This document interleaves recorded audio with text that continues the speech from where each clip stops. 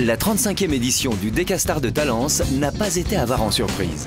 La première, c'est malheureusement l'abandon sur blessure du Français Romain Barras dès la deuxième épreuve.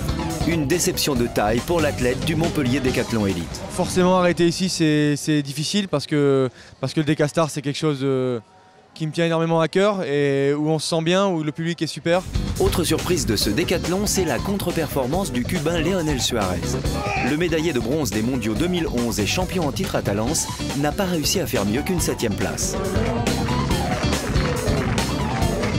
Malgré cela, le Décastar 2011 a tenu le public en haleine jusqu'à la dernière seconde et les décathloniens se sont livrés à une bataille acharnée. À trois épreuves de la fin, le champion du monde junior de décathlon, Kevin Mayer, tente malgré tout de désigner le futur vainqueur. Le pronostic est loin d'être évident à faire. Ce qui est bien là, c'est que voilà, c'est qu'on peut s'attendre à tout parce que il y en a qui viennent pour chercher les qualifs pour les JO, il y en a qui viennent pour gagner. C'est, je pense que Van Alphen peut faire aussi une bonne place. C'est un fait, Kevin Mayer est un fin connaisseur. Hans Van Alphen, pourtant quatrième après sept épreuves, va créer la surprise en remportant son premier des castars. Un coup double pour ce Belge de 29 ans qui valide du même coup son billet pour les Jeux Olympiques puisqu'il réalise très exactement les 8200 points qualificatifs pour Londres. Ah, c'est incroyable.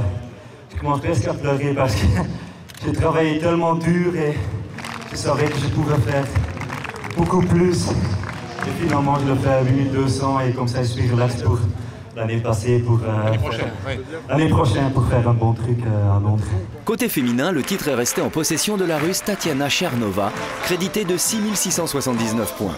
Impériale à la longueur avec un saut de 6,57 m, la toute récente championne du monde de l'heptathlon a confirmé son statut de favorite.